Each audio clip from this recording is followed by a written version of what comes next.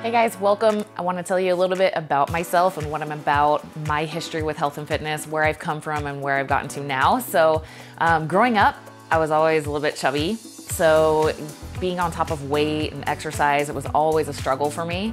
And as I got older, I started running.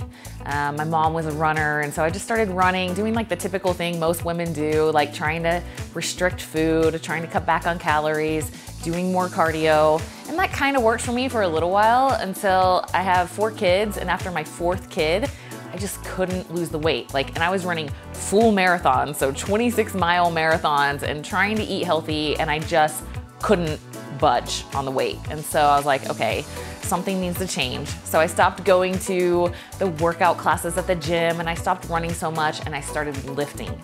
And at first it was hard. Like I was like, I don't feel any of this. I don't know if I love lifting, but I knew that if I wanted to look different, something was gonna have to radically change, right? So I started started getting diligent about lifting and after a while as I got more educated, I started to love it.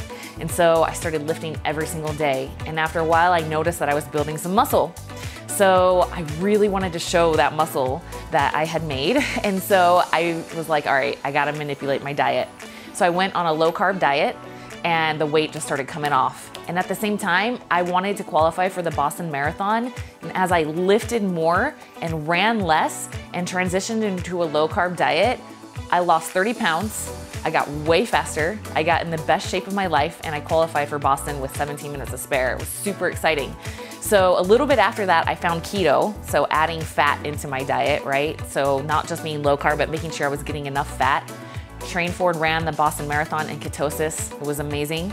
And now I coach people on the ketogenic diet. So since then, I've become certified as a personal trainer. I've gone ham on my education. I have a whole bunch of certifications. I've hired mentors, I've hired coaches, and um, I love training. I love what lifting weights can do um, for men, yes, but women especially. Like it changed my life. It made me feel more empowered on the inside as I got stronger physically. So um, I love resistance training.